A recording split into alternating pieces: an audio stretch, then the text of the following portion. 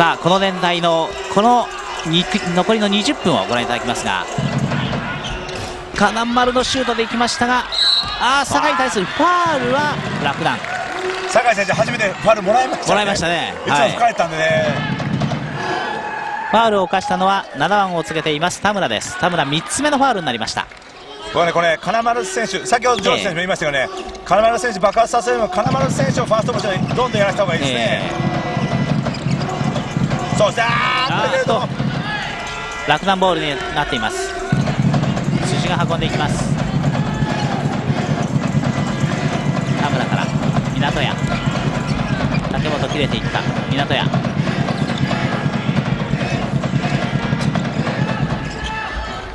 リバウンドは？ああ後ろが押した。押した。ああ連続ファールになってしまいました。7番の田村。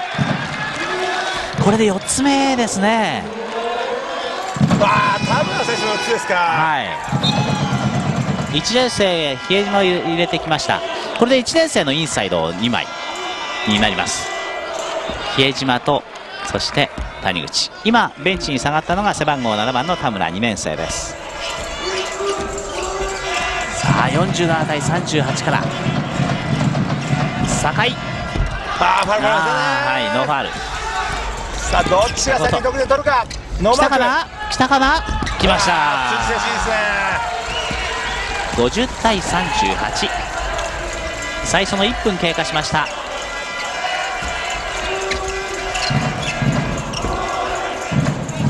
久保田。ああブロック。したブロックブロック8番の辻のブロックから。ずれたずれた。ちょっとずれた。チャンス。アウトナンバーですね。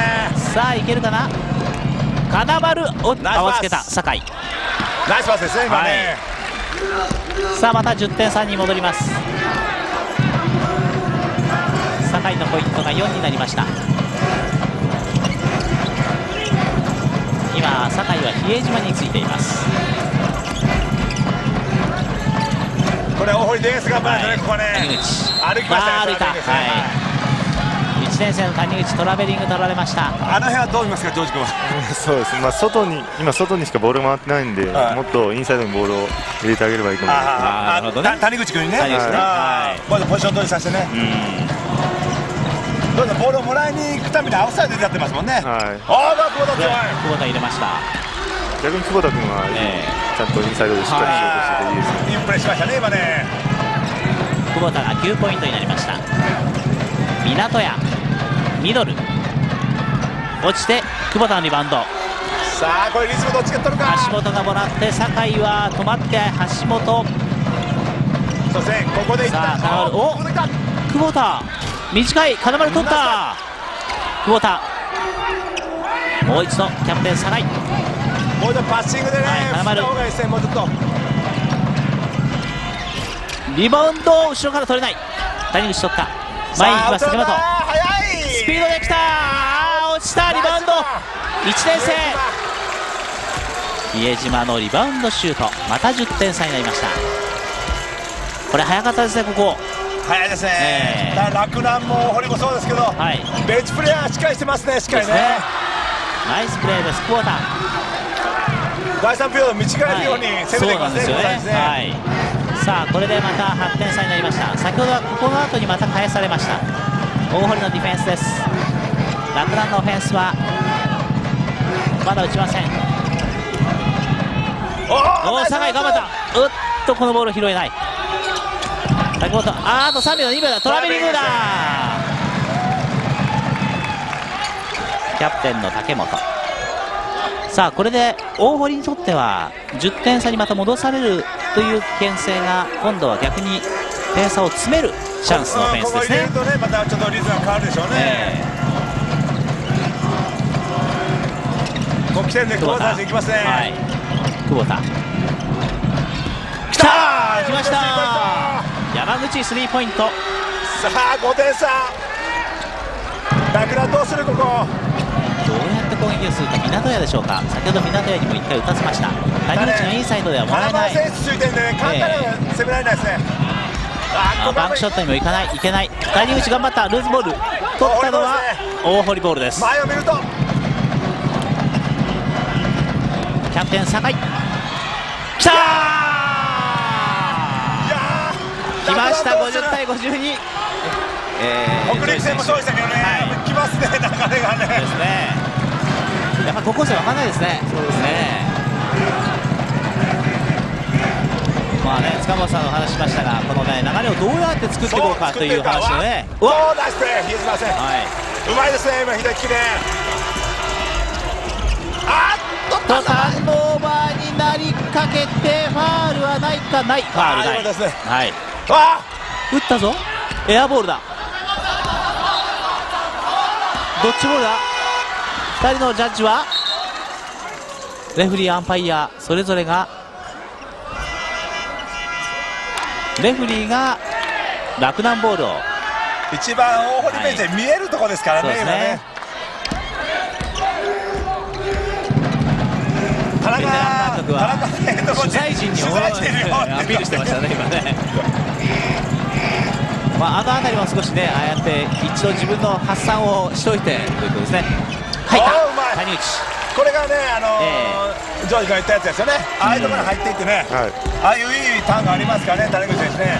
やっぱりもらう場所によって違うんですね、これだけね。残り5分切りました、谷口6ポイント。久保田、ボールを後ろからスティールした。さあ、この大事な局面を堀。どうするか。ラクラム分かってますからねしっかりセット港屋港屋打ってきたでは港屋前半にはいい当たりが来ましたがちょっとこの後半のシュートはまだ来ていませんタイムアウトですさあ舞台大堀ベンチプレーヤー久保田の背中を押し出しました残り4分40秒56対50現在洛南高校がリード。大堀のオフェンスです。タイムアウトを取ったのは大堀でした。タイムアウト明けのオフェンス。久保田。久保田対谷口。金丸。あ惜しいですね。取った楽な金丸選手のシュートは来ないですね、え。ー、港屋。辻スリーポイントがあります。飛ばした来た洛南高校また8点リード。港屋に今のプレーが出ました。今度は久保田。リバウンド。うんこれちょっと悪いですね。リズムはもうなくですねここね。もうワンゴール入るところで10点差スイーなら11点差うわー11点差。辻が決めました。うんタイムアウト明けだけにちょっとオフに痛いですね。痛いですねこれね日本はね。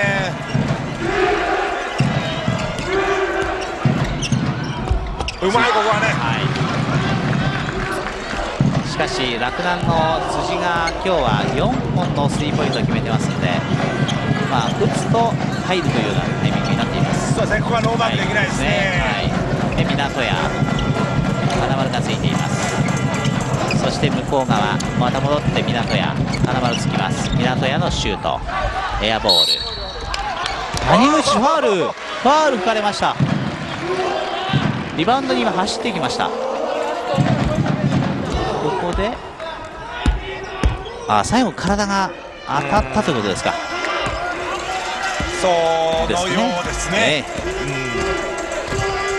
谷口のファールも3つになりました。金丸。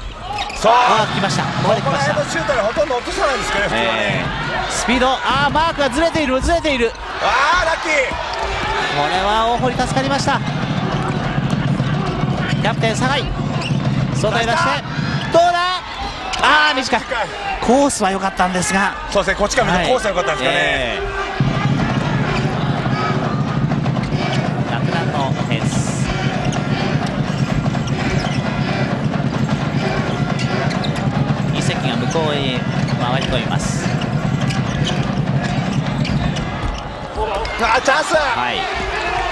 入れたかったですね。ねそうですね。さあ大堀これが入れば来ました来ました。来ましたね。また4点差。スリーポイントが立て続けに来ることがありますし。気が強いですからね橋本はね。10点開いても安心はできません両チーム。洛南ボールです。ディフェンスを頑張っています大堀さあ洛南に終始2セット取られてるでしょ、はい。得点がねリードしてますからね、そこら早く逆転したいのが大堀でしょうね、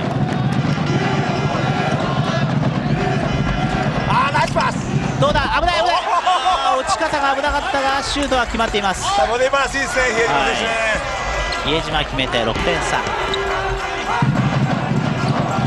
今日の比江島は8ポイントです。ゴールしている酒井。久保田。酒井酒井久保田へ。ちょっと狭い。うまいうまいうまい。きたー。山口一つのフェイクでノーマーク作りました。あー3点差またゲームが分からなくなってきました。徐々に来ましたね大堀。がね、えー開きますがまた詰める。開いてまた詰める大堀。洛南1年生のプレーだ。いやうまい。うまいですよね。さああの彼もねはい。元地中学校で福岡なんですよ、えいやーしかもうまいあー面白いですね。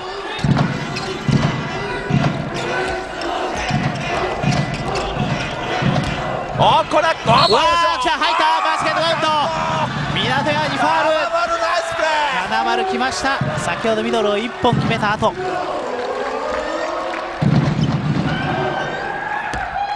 いやージョイ選手面白い展開になりますね。そうですね。あの後輩たちが すると思いますが。まあ1年生にやられたらやり返しでしょうね金丸選手もね。ね。金丸15ポイント。港屋ファールは2つ目。スリーポイントプレーになりました。さあこれで見てどうなるか？もうこれリードないのと一緒ですね、はい。こ1分切っている。さあ1つずつのオフェンスを時間じっくり24秒使うのか谷口谷口。左に比江島います。港屋スリーで打った。あー来た。この大事な時来ましたね港選手。こういう心臓強さありますね。ありますね。もうこのアン,、はい。アンダー80が頑張ってますねそうですね。日本代表。日本の若い世代の戦いです。リバウンド取った港屋。現在5ポイントリード。残り20秒時間を使って最後に打っても十分にリードをためたやつ3なら8点差になります。コールしました。ポイントガードからボールがさばかれる。エースが打つ。きたー！作りました。71対63結局残り30秒を使い方が洛南高校にこの点差をもたらしました。ご覧いただいてますようにウィンターカップ2006男子準決勝。第2試合。第3ピリオド終わって71対63洛南高校がリードしています。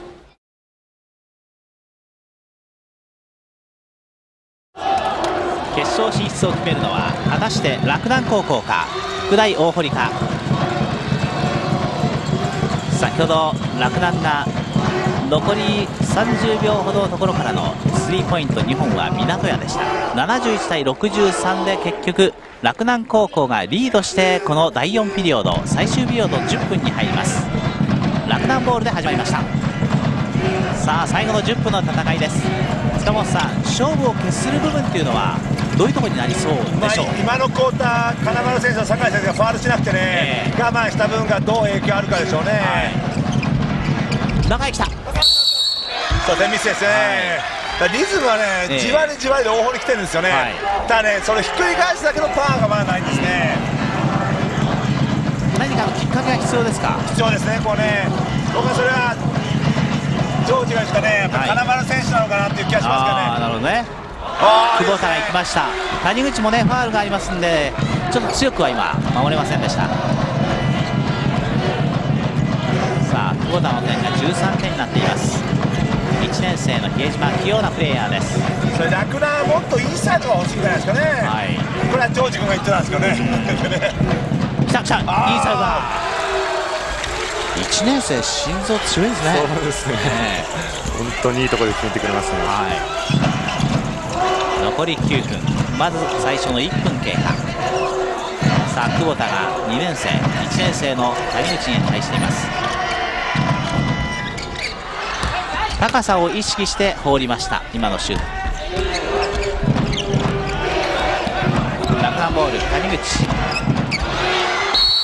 勝負にいったファールをもらった。久保田のファールです。久保田は1回目のパーソナルファールです。いいターンしましたね、はい、1年生の谷口フリースロー。ファールは2年生の久保田アップダウンの激しいゲームで急に止まってフリースローを打たなければいけません。これがねあの国際試合ですと本当にあの外国人のトッププレーヤーたちはピタッてこう呼吸整えて打ちますもんね。基礎体力の強さというか。ありますね。それはねね。試合機の強さがね。金丸久保田止めた谷口。金丸打った。ああ入らない。この間のミドルレンジがちょっとね金丸選手ねずれてるんですよね、谷口。港屋距離がある。きた逆にねさっきのクォーター最後で合わされましたね、港谷選手ね、港屋スリーポイント。3本目それが先ほどの終了からですから、ね、ほとんど23分の間に3本決めたことになります。久保田勝負に行きます。久保田来た。おーうまい。ファールもらった。これファール4つ目ですからね。あーです大きいですね。さあどうするか洛南ベンチ。谷口が4つ目のファールをここで今取られました。フリースローは久保田です大堀はねまずねね。オフェンスよりはディフェンスを立て直す、うんそれが一番大事かもしれませんね、今ね、11点差。これが入れば10点差。短い。洛南そこはい待って江島よく動いてる1年生。ああ落ちリバウンドは？久保田。ですね、大堀ボールです。橋本待ちました。酒井。そうですね、金丸。5対1、金丸対ああ引っかかった。まだシュートがあります。うーん、ちょっとリズムが悪いですね、今のはい。ね、11点リードしているのは洛南高校です。夏のインターハイベスト8で両チームは対決しました。この時には洛南高校勝っています。リバウンド。うわー、取れない、ノーファールです。比江島。飛ばして港へ。スリーポイントを3本連続で決めました。ナイスカット。読んでた。酒井このシュートが入んないんですよね、ですね。大堀らしくないっていうかね、スパンスパンと来るのはねいつものペースなんですが入りません。さあ洛南1年生。ミドル打ってリバウンドは港屋でした。またここでタイムアウト要求です。さあ竹内選手。はい。どうでしょう？竹内さんこの港屋選手の29ポイントでスリーポイントが効果的なポンポンポンとそうですね。勝負どころで決めてくれて、うん。ね。はい。うん。前半はちょっとインサイドをはい。やってたんで、ええ。まあ、そのせいでまあ後半の最初はちょっとシュートの、うん。ロングシュートの感覚がつかめてなかったんですけど、はい。まあ、徐々にアジャストしてきてさすがですね、うん。インサイドの1年生たちはどうですか、ちょっと今ね、谷口選手が4つ目のファウルにはなりましたが、でもこういうだ、ええ。大きな舞台ではい、一生懸命仕事をしてるし、まあ、比江島も高確率でうん。シュートを決めてるんで、はい、本当に来年以降も楽しみですね。そうですね、まだそうですね、2年生、1年生とね、はい。今、お名前のね、挙げてもらった谷口、比江島のところは1年生ですもんね。逆に福大大見の方は、どうですかね、まあ、塚本さん、1年生のね、途中ポイントガードで、11番の大塚選手をね、使いました。ただ久保田選手、山口選手2年ですからね、ええ。この他にも小田選手がいるんでね、はい、たただ勝つということは大事だと思うんですよね。ですね、経験値としてはそっちの方がまた自信になりますよね。だから自分たちを信じてやっぱりこうええ。攻めていって、ああこれゾーンを引いてきましたね。あゾーン引いて。そうですね。洛南ゾーンディフェンスです。エあアボールだった。さあオフェンスは？歩いた。いや笛が鳴らない。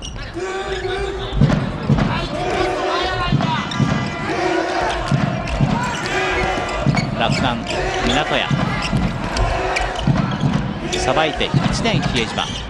リバウンド大堀これも時間あんまりかけたくないですね、えー。ここはね。さあ打ってきました。スリーポイントきた。あーっとこれは入らなかった。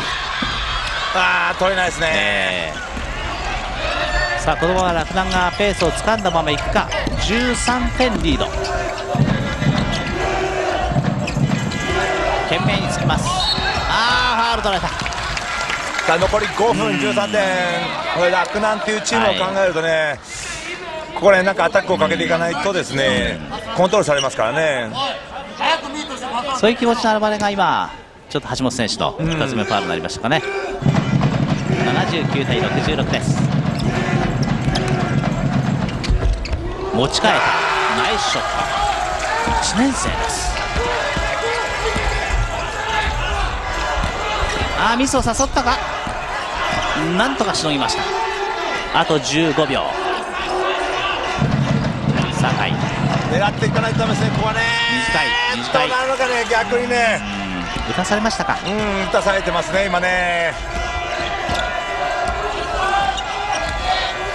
慌てることはありません。洛南4分40秒を残していて現在81対66とリード。1年生これよく掴んだ。パスがねあのね。よくさばきますね。そうコートがよく見えてますね、洛南の方がね、ええ金丸スリー来てました。これがね入ってこないとしょうがないですね金丸選手ね、頑張ってもらいたいねここね、はい。前から来ます。前からついていきます。港屋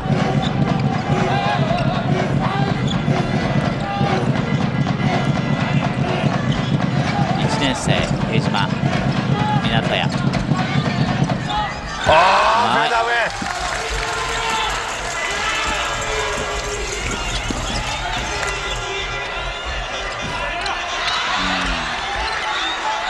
ちょっとあートラベリングですね。ラッキーですね。はい、ラッキートラベリングです。いい席まだ3分46秒あるんでね,、はいですね。まだもう何回かね波を作れそうですもんね。うんそうなんですよね。それにはねはい。下を向いてたらダメですよね。これ何か欲しい。久保田リングに向かっていく。短い。もう一度。久保田。決めた左手で決めました。さあ12点差。洛南リード。何か起こさせて相手を頼むしかないんでもっとプレッシャーかけたいですね俺はね、はい。プレッシャーを、まあ、ファールを考えてるところじゃないですからね、はい。こディフェンスとスピード感のあるバスケット。うわねよく決めた。洛南がリードします。辻。14点リードで残り3分を切ろうとしています。あーターンオーバーが出た。出したくないところで出てしまいました。ここでタイムアウトです。優勝2回準優勝4回がこの冬の戦いです。選抜大会の過去の成績がそのようにありますがただ優勝は久しぶりそのチャレンジということになります。そうですね。だからねこういうチャンスってなかなかね、来ないんでね。ですよね。逆に言うと残り3分うね、ん。やはりディフェンスでもっとプレッシャーをかけてねターンオーバーを誘発するぐらいのねディフェンスをしてほしいですね、一方の洛南は6年連続ベスト4そして決勝進出2度目を果たしたい戦い。今のところリードは洛南。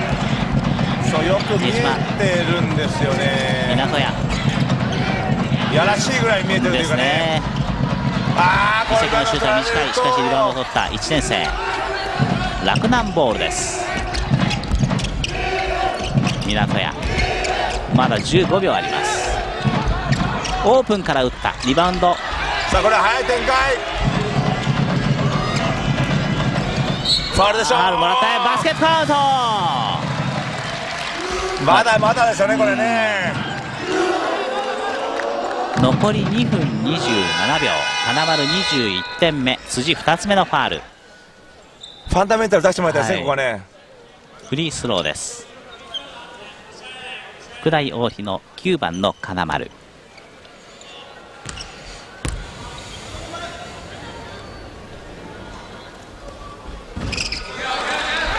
フリースローを決めました。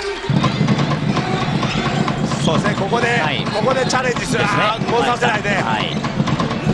そうここからチャレンジ。はい。これがチャンスのところですからね今の。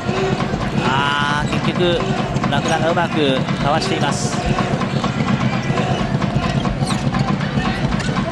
さあこれ閉じましたよこの後金丸金丸はさあ誰に打たせるかじゃあもう打っていくしかないですよ、えー、絶スリー。対あーブロックしたスティールに行く。洛南ボール。2分切っています。ナイスパスでした。谷口ナイ1年生。決まった。追いかけても追いかけても洛南の点数伸びていきます。これ経験って言ってもいいかもしれませんね、谷口。さあこれをね山口。前です前です前です。ピックアップが遅い。あーファール。ピックアップはちょっと遅いですね。10点差です。ただ10点差残り1分32秒。絶対ないとは言えないスコアと時間ですね。分かんないですよまだ。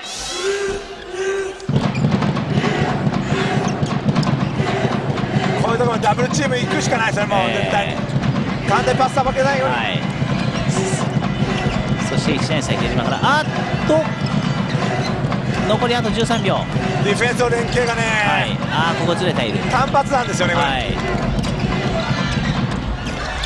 できればね今パスの中でもなるべく長いところのねセンターのところで取りたかったですがさあどうだどうだどうだ山口来た来た。来た。さあ前から。ゲームとしては7点差あーまあこれはわざとに見えましたかあいらや今のは普通のファウルでしょうね。ね、えレフェリーのいる位置ですねー今のはね、はい。認定者を取られました。うんまあ残り1分01秒。これ引っかかるああ違う肩持ってるんでね、これしょうがないですね。右手の方がどっちかというと掴んだ感じですかね、さあ80対87これフリースローが与えられてその後もさらに洛南ボールということになります。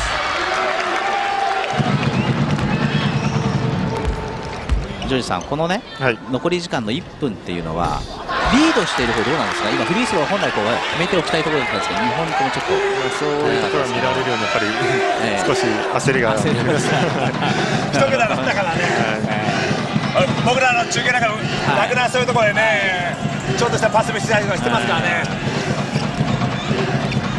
狙いに行く狙いに行く。あーっとどっちだ？楽なボールです。ウィンターカップではずっと、ええ。ー2年連続ぐらいで、大逆転負け食らってるんで、はい。ちょっと怖いですね。えー80対87あーあーっと。これでこれでファイブファウルですね、はい。キャプテン酒井ベンチに下がります。3年生にとっては最後のこのウィンターカップ。ただ逆を考えれば3年生でもここまでやれるそういう環境の中にうん。チームにいるという状況です。代わって入ったのが寺田。3年生のシューティングガードです。さあフリースローは洛南。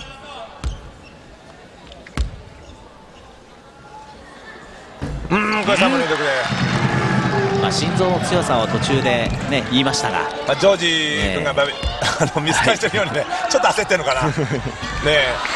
2分の1、さあこれ早い展開持っていかないとダメですよ、はい。早く早く早く。さあ3年生、ボールを運んできて、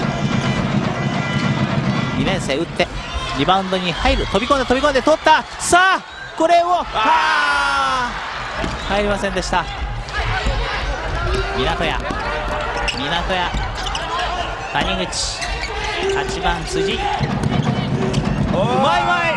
ノールック。ノールックパスを1年生感じていました。谷口決めています。80対90谷口今日11ポイントになりました。金丸。リバウンドに入る洛南。港屋が取っています。残り16秒。1年生比江島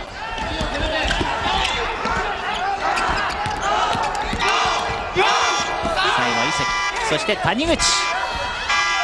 空中にある間にブザーが鳴るか今はここで試合終了です。結局90対80洛南高校が決勝戦進出を果たしました。